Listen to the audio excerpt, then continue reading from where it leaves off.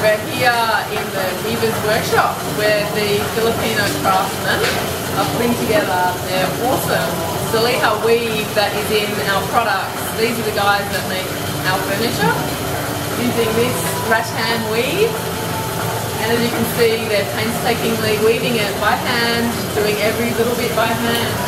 It's, uh, it's amazing work and uh, it's super strong as you know. The weave is beautiful um, and these guys have been doing this, um, this workshop's been here for 40 years um, and these guys do this day in day out and uh, make some amazing, amazing furniture, amazing weave.